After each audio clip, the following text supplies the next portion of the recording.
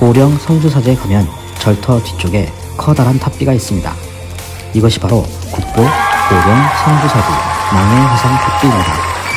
낭해화상 무염이 입적한 후 최치원이 직접 글을 지은 비문이 새겨진 통일신라 시대의 가장 큰 탑비입니다.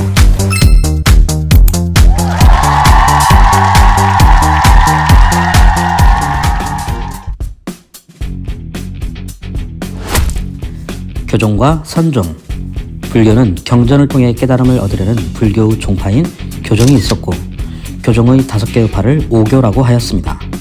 교종은 왕실과 국가를 중심으로 발달하였습니다. 고구려 보덕의 열반종, 백제의 경과, 신라 자장의 계율종, 그리고 통일신라 의상의 화엄종이 있었고 여기에 원효의 법송종과 진표의 법상종을 더해 오교를 이루었습니다. 구독!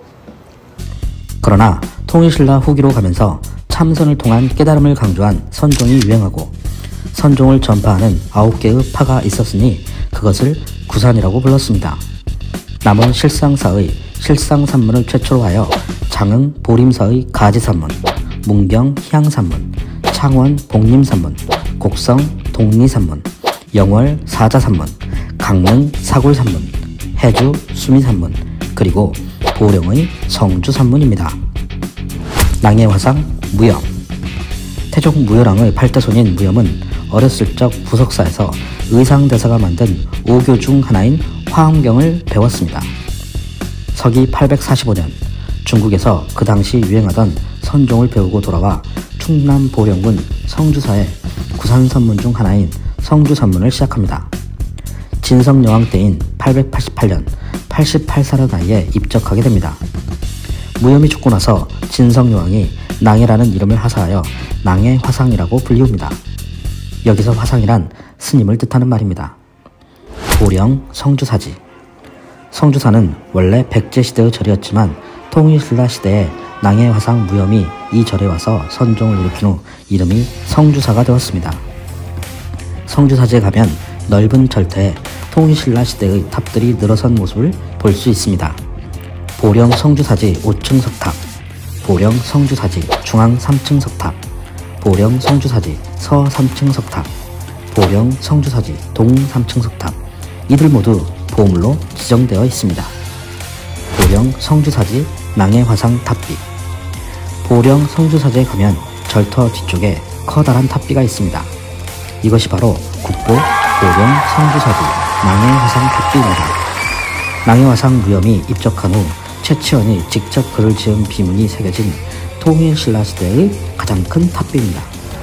이 탑비가 국보로 지정된 이유는 첫 번째, 최치원은 글을 연구할 수 있는 사산 비문 중 하나라는 것 때문입니다.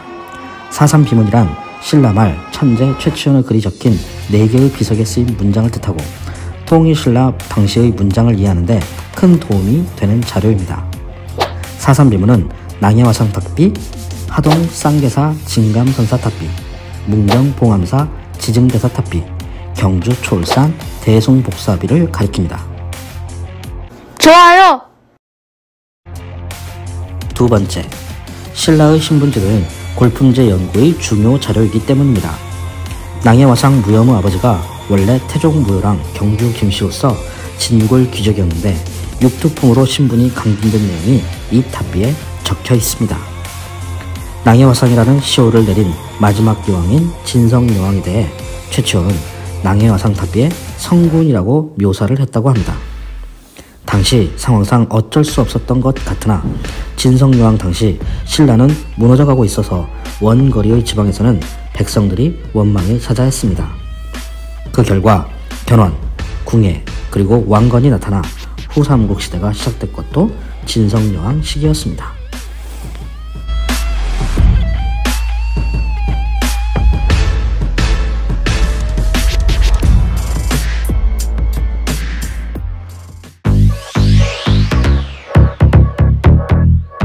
아들 세술 등 목매달 아빠 TV입니다. 오늘 내용이 유익했다면 좋아요, 구독, 알림 설정 부탁드립니다.